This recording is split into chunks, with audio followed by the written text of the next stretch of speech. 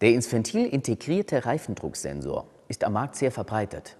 Sein Austausch eigentlich gar kein Problem, wenn man weiß, wie es geht. Und das erklärt Ihnen jetzt unser Fachmann Tobias Stephan.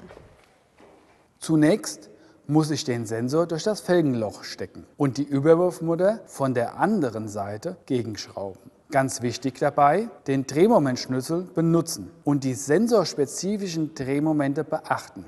Außerdem muss man darauf achten, dass das Sensorgehäuse auf dem Felgenbett aufliegt und nicht in der Luft hängt oder schräg eingebaut ist. Beim Austausch der Serviceteile ist es natürlich enorm wichtig, die Reihenfolge des Aufbaus zu beachten. Und der Ventileinsatz muss auf jeden Fall vernickelt sein. Ähnliches gilt für die Ventilkappen. Diese dürfen ausschließlich aus Kunststoff sein.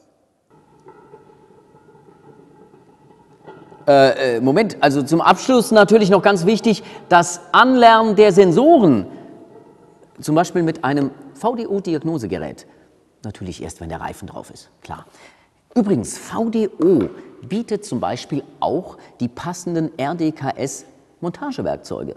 Damit haben Sie bei der Sensormontage immer das passende Tool zur Hand. Und wenn Sie noch viel mehr erfahren möchten über RDKS-Sensoren, die unterschiedlichen Typen, die Befestigung, die Funktionsweise, dann schauen Sie sich doch mal an, was das Continental Trainingscenter zu diesem und zu vielen anderen Themen zu bieten hat.